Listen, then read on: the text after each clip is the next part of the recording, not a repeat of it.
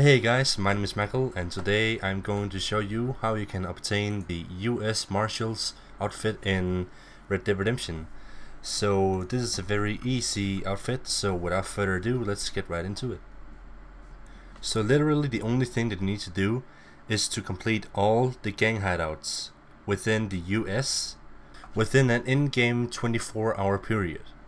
These gang hideouts are Fort Mercer, Gaptooth Breach, Pikes Basin, Tumbleweed, and Twin Rocks. And after only that you have already obtained the um, US Marshal outfit. Now keep in mind that 24 hours in the game is 48 minutes in real life, so you got about 48 minutes to complete all the gang hideouts and that's very easy. You just have to have the right weapons and you can do it in 15 minutes, no problem. While wearing this outfit, you will be able to go on a killing spree without being pursued by the law enforcement, but you will still gain a bounty from doing it.